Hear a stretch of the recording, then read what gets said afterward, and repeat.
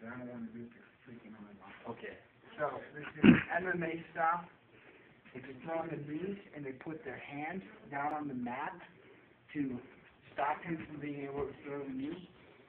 Throw that on now. You take your back leg, you step over, sit, and come to your Nice.